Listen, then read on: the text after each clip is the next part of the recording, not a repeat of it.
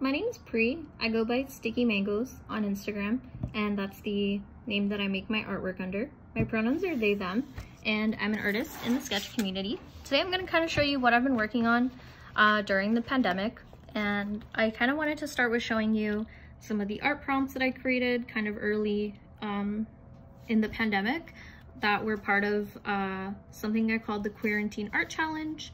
Uh, I came up with these prompts in mid-March so that folks in the community could kind of like have something to motivate their artwork that wasn't as depressing as the state of affairs.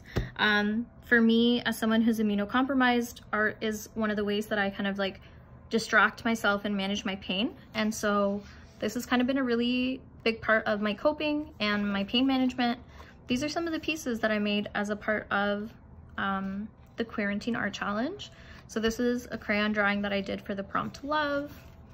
This one I believe was for relaxing or calm. This one was about care and it says, I care about me so that I can care for you. And it's just about thinking about community care and how important it is to also take care of ourselves.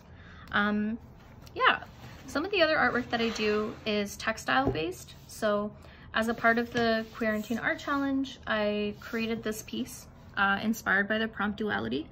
Kind of limited right now in terms of what kinds of threads, um, what kind of floss I have. So I would have liked for this piece to be in different shades of brown, but this is kind of what I had on hand. So yeah, and this was a freehand piece um, that I created that I'm really proud of.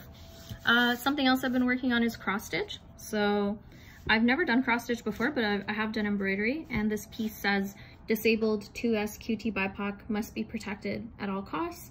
And this just comes from thinking about, you know, who the most marginalized folks in our community are and my feelings as someone who um, is living with cancer in remission as a racialized queer and trans person. Um, yeah, so that's kind of what I've been working on. Uh, I've also been doing some watercolor painting like I've already shown you at like different scales. So this is one of the smaller ones when I was feeling pretty down about what's kind of been going on. Um, I've also kind of been practicing and trying to develop my skills uh, by working on um, like floral pieces and nature. So yeah, these are some of the other pieces that I've been working on.